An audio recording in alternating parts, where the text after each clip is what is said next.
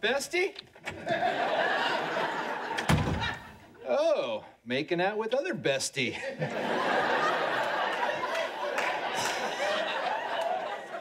so awkward when your two best friends start dating.